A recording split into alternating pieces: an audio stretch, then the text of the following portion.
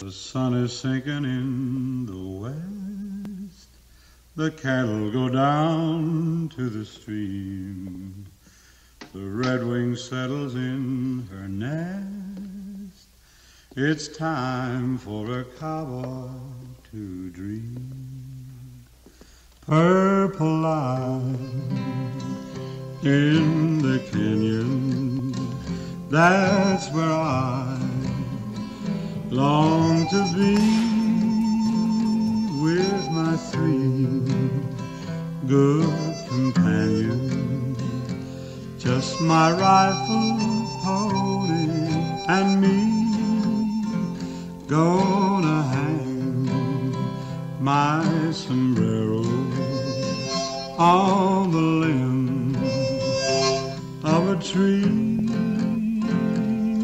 Coming home, sweetheart, darling. Just my rifle, pony, and me. whippoorwill in the willow sings a sweet melody Riding to riding to Amarillo. Dzień dobry Państwu.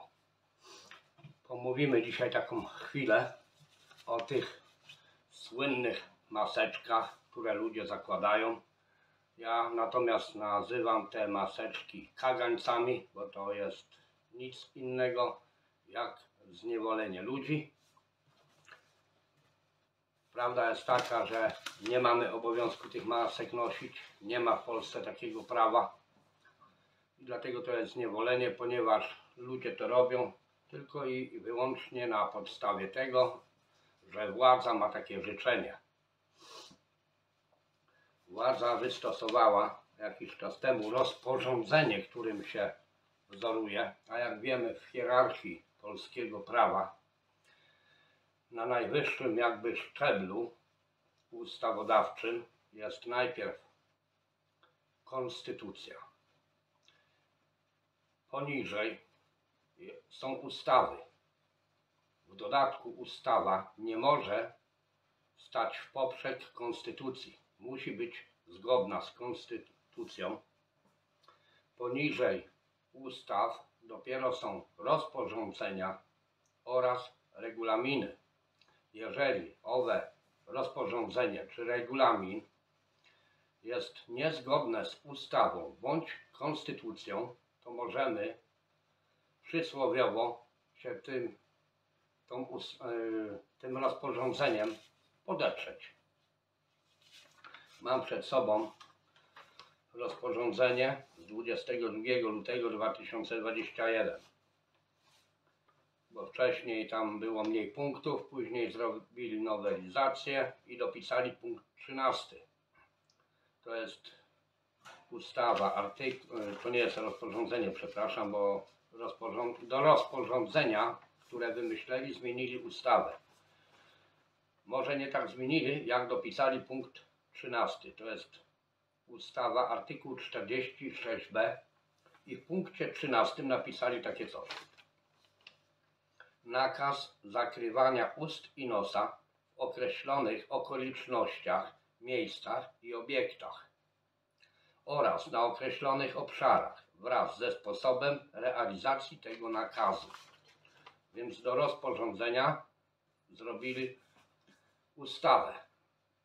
Bo pierw w ustawie nie było czegoś takiego, tylko było gołe rozporządzenie na, no, z powodu życzenia naszych władz. Ale że ludzie się dopatrzyli, mało kto przestrzegał rozporządzeń, więc zrobili tą ustawę.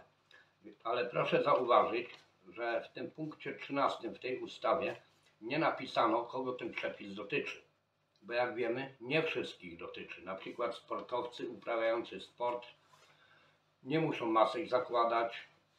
Osoby z orzeczeniami o jakimś tam problemach ze zdrowiem również nie muszą, więc nie dotyczy to wszystkich. Jeszcze raz przeczytam. Nakaz zakrywania ust i nosa w określonych okolicznościach, miejscach i obiektach oraz na określonych obszarach wraz ze sposobem realizacji tego nakazu.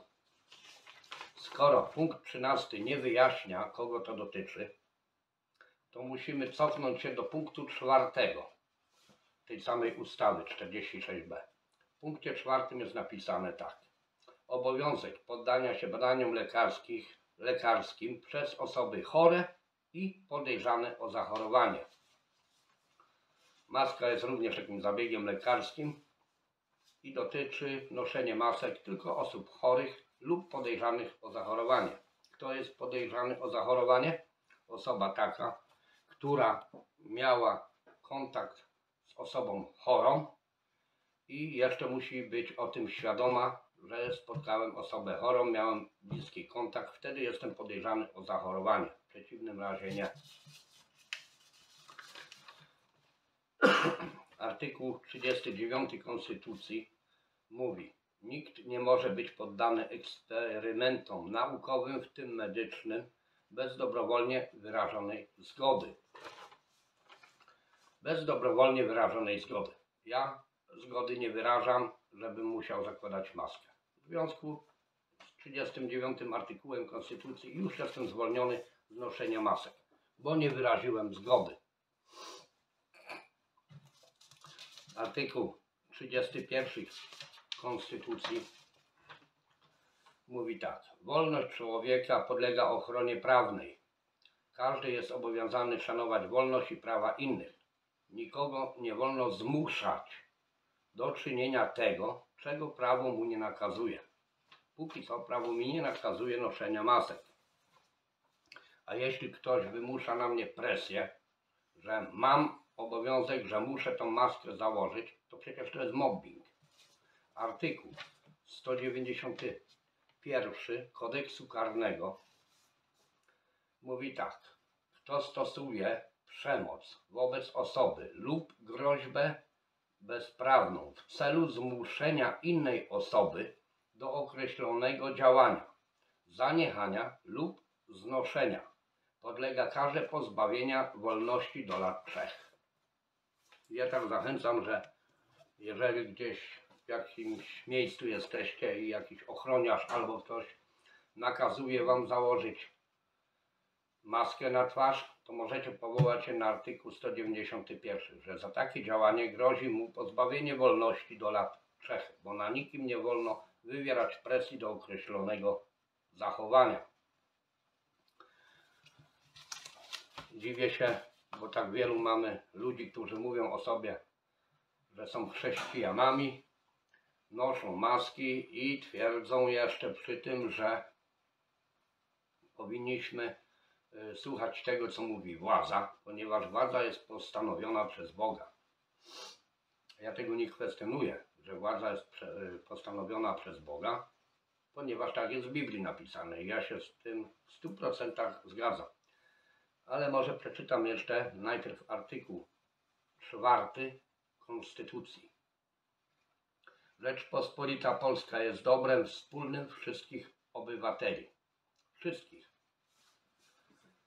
Rzeczpospolita Polska jest demokratycznym państwem prawa, e, prawy, prawem, prawnym, urzeczywistniającym zasady sprawiedliwości społecznej.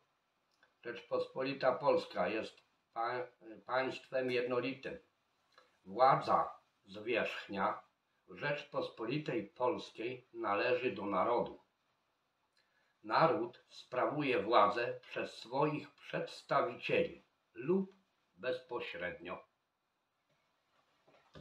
Jeśli myśmy sobie władzę wybrali, ja osobiście nie chodzę na wybory, ale ogólnie mówię, żeśmy sobie wybrali władzę, to, ta, to my jako mali bogowie na ziemi wybraliśmy sobie władzę, to ta władza jest rzeczywiście postanowiona przez Boga. Ale jeśli władza po jakimś czasie się e, przeciwstawiła e, swoim wyborcom, przeciwstawiła się Bogu, na przykład w sposób taki. Władza akceptuje eutanazję. Władza akceptuje aborcję. Władza y, na dzień dzisiejszy y, robi działania depopulacyjne narodu. ludobójstwo za pomocą między innymi tych szczypawek, a nawet masek, bo te maski nikomu na zdrowie nie służą. To czy taka władza, która respektuje ludobójstwo, eutanazję i te rzeczy, czy to jest władza od Boga? Czy to nie jest władza, która przeciwstawiła się Bogu?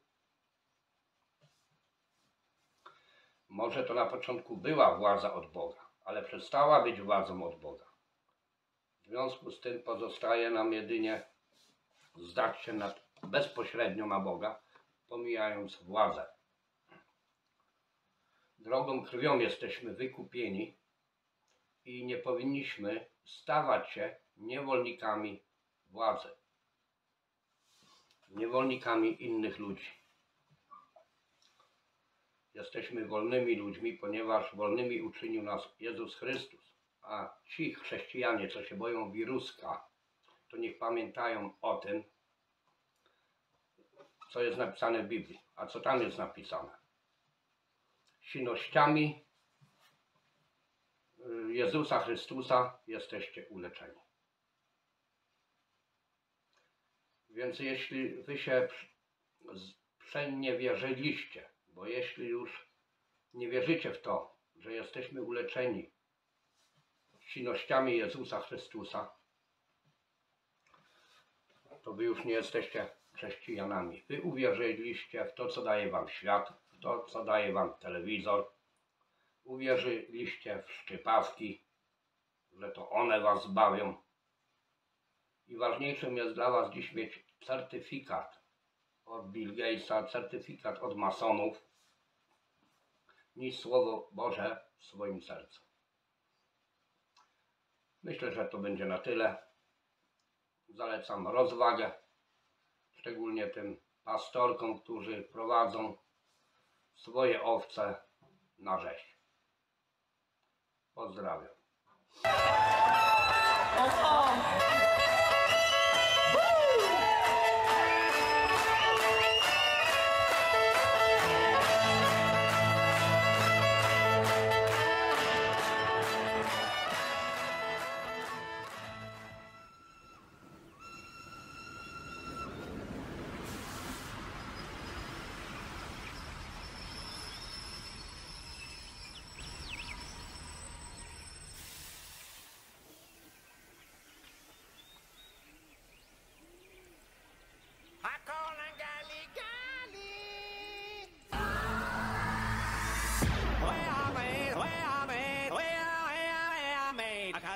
million. Hooray!